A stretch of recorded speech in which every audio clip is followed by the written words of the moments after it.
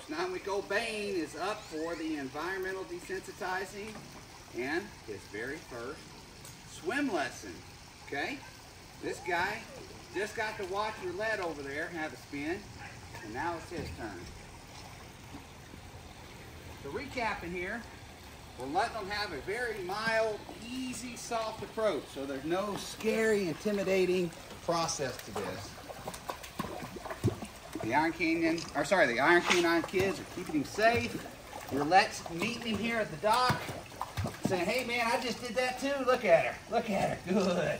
Good girl, you're an encouraging big cousin, aren't you? Good. Ready?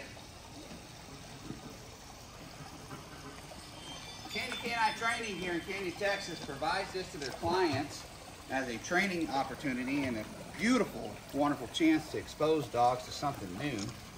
Good. Of course, we take advantage of any opportunity to do environmental practice and desensitizing and just pure exposure. We hear this guy's not whining, he's not squalling, he's not in distress. What are you doing? What are you doing? You see, this girl, Roulette, just went. Look at her tail. Good.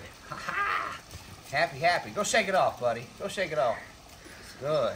This is positive. They don't have any stress. They're having a good time. Love it. Makes a nice character.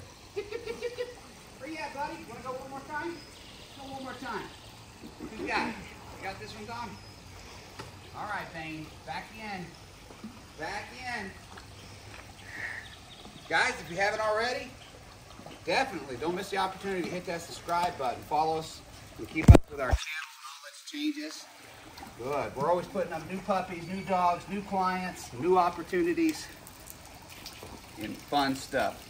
Hope you guys enjoyed.